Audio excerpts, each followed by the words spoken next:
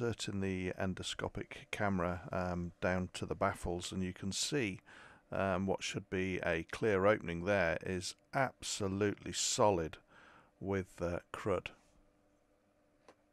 Here we've got a cutaway diagram. If you look at the top right hand corner, it shows you how the uh, path of the camera travelled through the uh, uh, first set of baffles, and you can actually see the gap that should exist if the baffles are clear. Clearly, that is not the case with my uh, end can.